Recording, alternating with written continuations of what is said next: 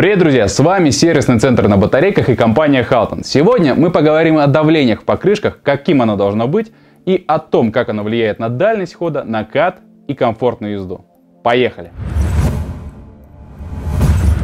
Тема давления в покрышках достаточно серьезная и актуальная, и, к сожалению, многие из вас не уделяют ей должного внимания. Сегодня мы разберем, какие последствия могут быть от перекачивания колес и недостаточного давления в покрышках, чем это чревато и что мы можем с этим сделать. Начнем мы с основ, с терминологии. Итак, давление в покрышках измеряется в двух основных системах. Это в атмосферах, или как обозначается в барах, или же в PCI. Это паскаль на квадратный дюйм. Собственно, во всех манометрах используются две шкалы. Есть и шкала для э, измерения в атмосферах и э, шкала в измерениях в паскалях.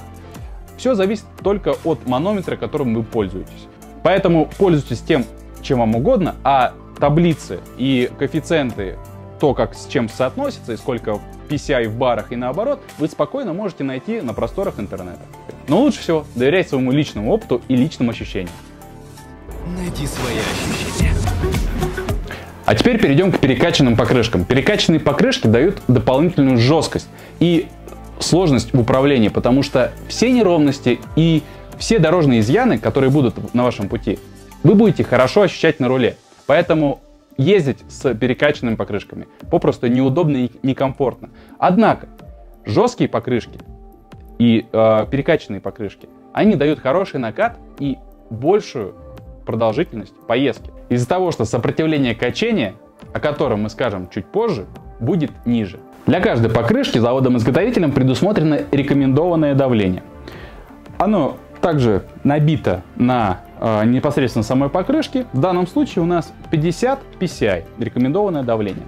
Превышать рекомендованное давление не стоит, но есть случаи, когда наоборот из изготовитель либо а, производитель самокатов рекомендует повышать давление, дабы избежать чрезмерного износа камеры покрышек. Также не стоит не докачивать до номинального давления покрышки, так как процессе эксплуатации, в процессе езды покрышка будет сильно деформироваться под весом и будут появляться изломы и нежелательные потертости на самой покрышке. Это сократит срок службы и жизни покрышки, а также может привести к перетиранию камеры внутри. Каждый ездок на своем самокате должен подбирать давление индивидуально. В первую очередь это зависит от массогабаритных характеристик самого ездока. Мы все прекрасно понимаем, что если э, рекомендованное давление, условно говоря, 50 PSI для самоката является норма, то это норма для ездока весом 70-80 кг. Если же вы весите 80 и более килограмм, может быть 90 и 100 плюс, то вам нужно индивидуально подбирать давление в покрышках так, чтобы покрышки прослужили весь срок службы и вы не испытывали никаких проблем с частой заменой камер или же с разбортировкой э, колеса в случае бескамерной покрышки. Перекачанные и недокачанные колеса имеют свои преимущества и недостатки. И чтобы разобраться с преимуществами и недостатками, разберем четыре основных критерия, по которым мы будем это оценивать. Первый критерий – это коэффициент сопротивления качению. Второй – амортизация. Третье – сцепление с дорогой. И четвертое – износ покрышек и камер. Итак, коэффициент сопротивления трению качения. Чем сильнее накачано колесо, чем больше в нем давление, и чем оно жестче, тем сопротивление трению качения меньше. А значит, самокат катится легче и свободнее. В принципе, ситуация точно такая же, как с велосипедами. Это подтверждено различными тестами и исследованиями. И мы можем заметить, что самокаты с резиновыми и литыми покрышками проезжают дольше при той же емкости батареи, нежели самокаты с покрышками камерными или бескамерными. А это следует из того, что если колесо крутится легче, то мотор колесу требуется меньше энергии для его движения. А следовательно, и заряд батареи сохраняется, и самокат на том же заряде проедет большее расстояние. Амортизация. Да, надеюсь, не раскрою большую тайну, но амортизация в самокатах в основном происходит за счет покрышек. Да, есть модели самокатов, в которых есть полноценная система амортизации в виде амортизаторов, пружин и ластомеров, но в основном, в большинстве своем, самокаты амортизируют за счет покрышек. И от давления в покрышках напрямую зависит степень амортизации. Если мы будем перекачивать покрышки, то самокат становится жестким, дубовым Он будет передавать ездаку на руль все неровности и преграды, которые будут встречаться на пути. И, в принципе, процесс езды будет не совсем комфортным. В буквальном смысле можно оставить позвоночник прямо на дороге, когда вы поедете по какой-нибудь брусчатке в центре Москвы. Поэтому следует этому аспекту уделить особое внимание и подобрать давление в покрышках, исходя из того обыденного маршрута, которым вы обычно пользуетесь, чтобы сбалансировать на дальности хода и комфортной езде. От давления в покрышках напрямую зависит сцепление с дорогой.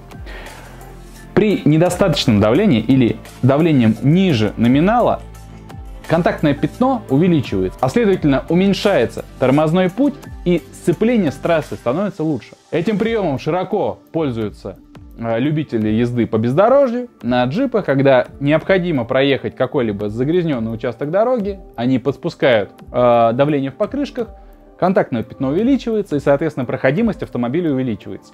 Тут, в принципе, э, ситуация та же самая. Уменьшая давление в покрышках, мы увеличиваем контактное пятно, а следовательно, торможение и управляемость самоката на сыпучих поверхностях типа песка, либо э, мелкого гравия будет лучше. Но, с другой стороны, это напрямую влияет на износ покрышек и их ресурс. Во всех вышеперечисленных пунктах мы говорили о ресурсе покрышки и о том, что давление в покрышке и в камере напрямую зависит на то, сколько прослушает вам э, покрышка и камера, соответственно. Поэтому стоит уделить особое внимание этому. Если мы не докачиваем колесо и э, в камерной покрышке давление ниже номинала и ниже рекомендованного, то во время езды, когда покрышка будет деформироваться, она будет влечь за собой и деформацию камеры, которая в определенных случаях может привести к ее разрыву или перетиранию. Мало кто знает, что давление в покрышках переднего и заднего колеса электросамоката должны различаться. Давление в передней покрышке должно быть чуть меньше, чем давление в задней. Это связано в первую очередь с тем, что распределение веса и нагрузки по осям самоката отличаются, и большую нагрузку во время езды испытывает заднее колесо. В то время как в переднем колесе рекомендуется делать давление чуть меньше, что будет более комфортно для езды и амортизации. Мы будем крайне вам признательны, если в комментариях под этим видео вы укажете, какой ваш вес, какой у вас самокат и какое давление в покрышках вы поддерживаете. Также вы можете всегда обратиться к нам за консультацией, мы вам подскажем, как и какое давление необходимо поддерживать в колесах на вашем самокате и проконсультируем по любой другой проблеме. С вами был сервисный центр на батарейках и компания Haltman. Удачи!